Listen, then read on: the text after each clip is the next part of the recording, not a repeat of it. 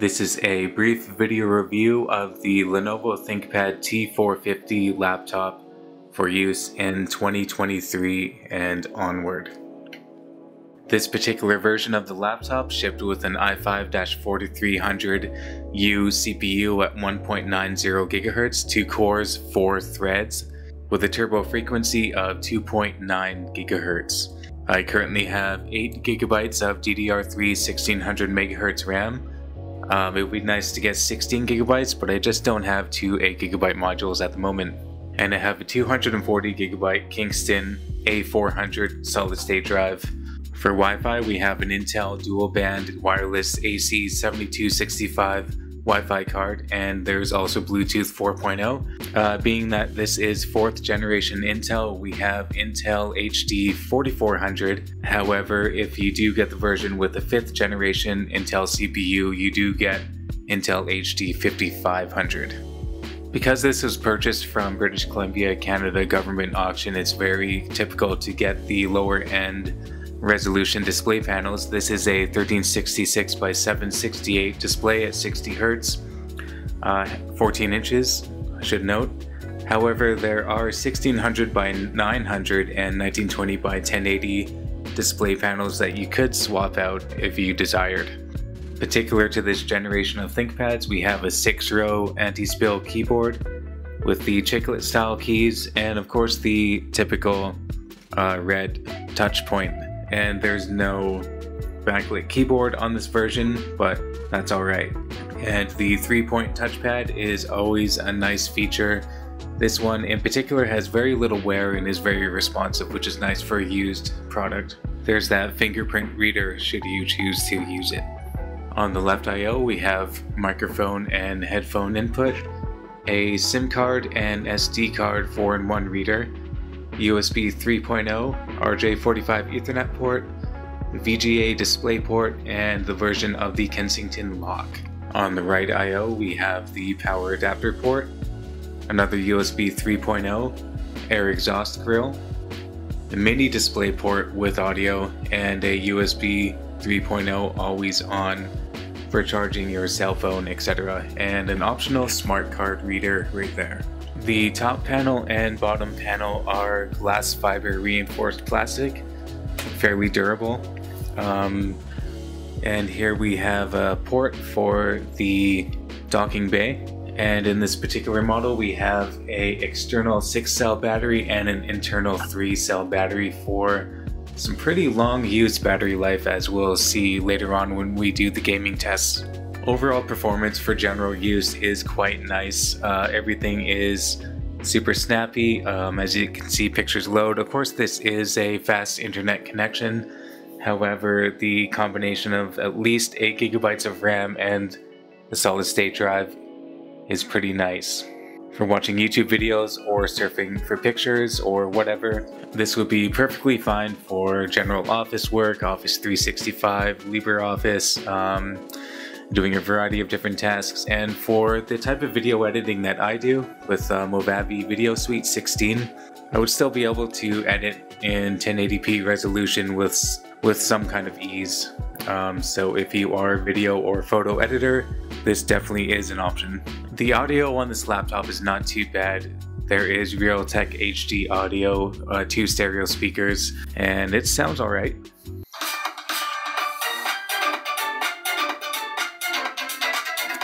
Of course, you could always use a Bluetooth speaker for better audio performance.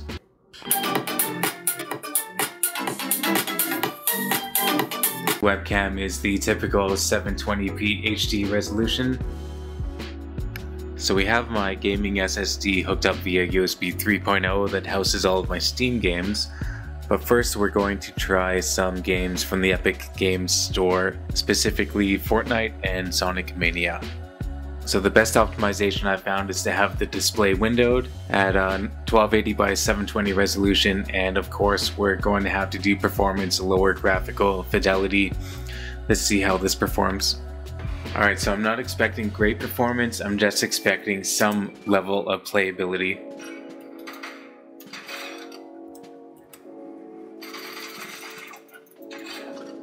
Alright, so we are averaging around roughly 30 frames per second Um, so it's playable enough to do what I just did. So that's pretty good in my eyes. Um, yeah, we'll call this game definitely playable in a pinch.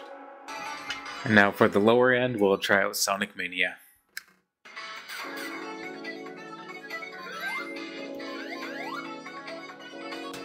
Alright, there's definitely no problem playing this game. Uh, a bit of a retro experience. Yeah. Let's check this one off the list. Next up is Left 4 Dead 2. Alright, so this is one of my favorite games to test on older systems. Uh, so far, so good. We're on a mixture of medium to high settings and optimized to play well full screen. And we're sitting at 80 frames per second. Basically, we're going from mid 60s to mid 80s. Uh, let's see what happens once we get some action going. Oh. Missing everything.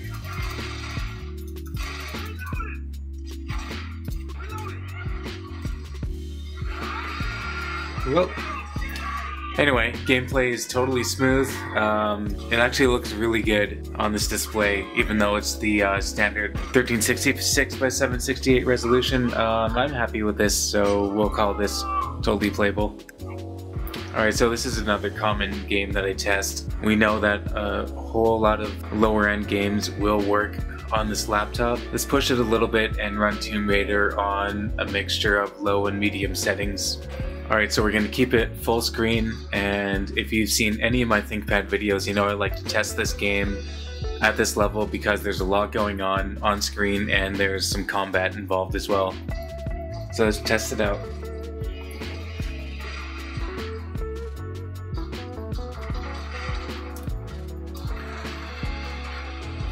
So we're averaging around 30 frames per second, dropping down to the mid 20s. Alright, so we made it to the cutscene with no screen tearing and no drops in performance. Let's see how it looks with combat. Alright, so performance is actually really great. Uh, we're still sitting like mid 20s to high to 30s frames per second, but as you can see, that's definitely enough to play the game.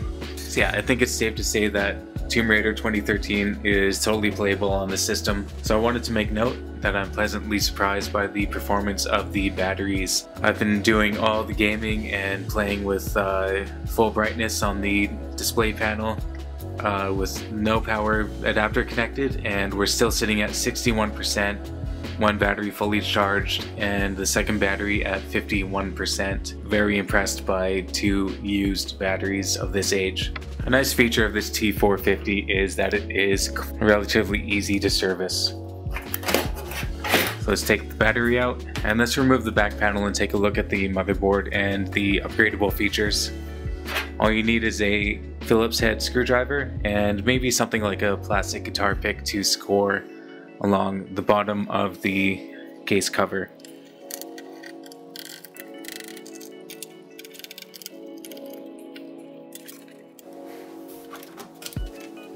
Alright, so here we have the 3 cell internal battery and if you do do any service you are able to disconnect the battery from the motherboard right here.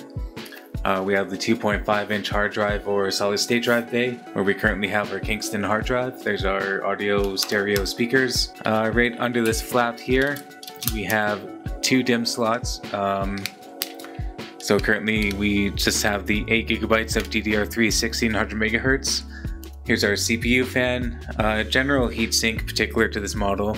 Um, if you wanted to service and put new thermal paste, just four screws will easily remove this heatsink and no problem. Uh, there's not even a screw holding this down.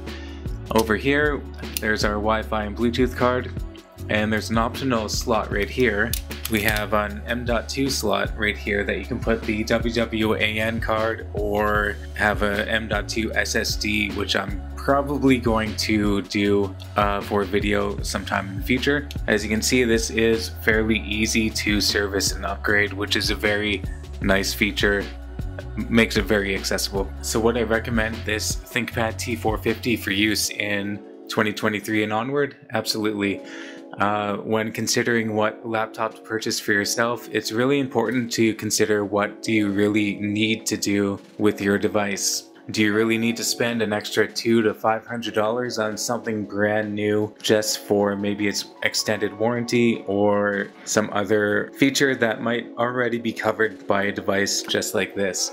Uh, don't be fooled and definitely do some research and check out the product specifications, research videos just like this and see if it's a good fit for you. I could definitely see myself using this for my work on a daily basis um, and I would recommend it for others as well not just because I will be selling it but because I do trust the product. So hopefully this video helped you out and let me know if you're considering purchasing one or if you already have one if you feel I missed something. And yeah ask any questions and I'll very likely answer them. So thanks a lot for watching and have a great day